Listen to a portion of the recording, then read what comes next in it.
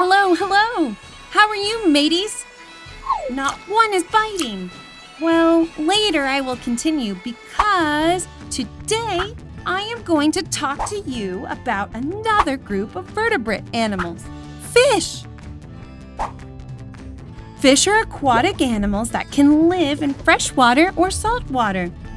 They are oviparous, meaning they are born from eggs.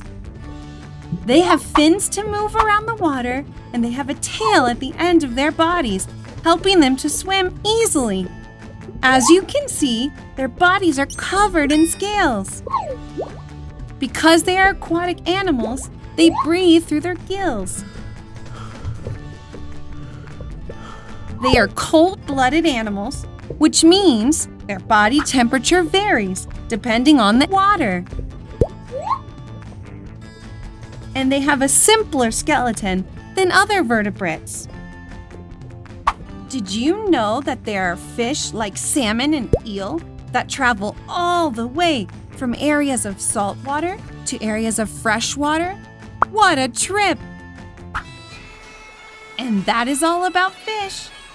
Oh, I think I've got something. See you later.